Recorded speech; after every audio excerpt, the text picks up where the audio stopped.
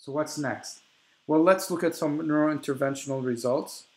This is someone, and you see how fast we're becoming. 148. You see there's no blood flow to half the brain here. There's a big clot right here. 148 is when we started.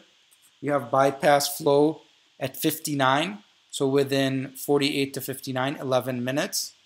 You have complete recanalization by 06. 18 minutes, complete recanalization. Look at this. There was no arteries here before. And this was January 6th. January 5th, same, same thing, right? You see no flow on this side. 27 after. 38. Again, within 11 minutes, we have bypass flow for stentriever. By, by 45, we're done. 27 to 45. 18 minutes again.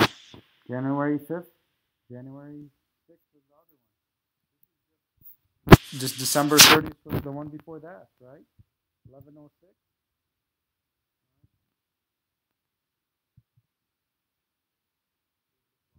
This is why you should use a biplane machine because if you if you have looked at it straight ahead, you,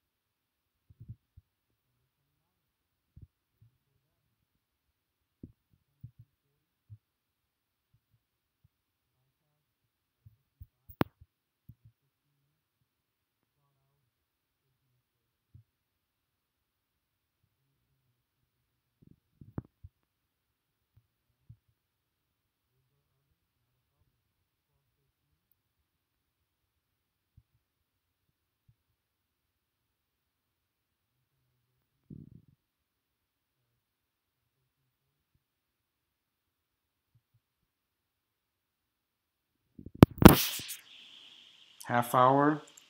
Most cases are less less than a half hour. December 20th. Again, why it's so important to have a, a biplane so you can see this.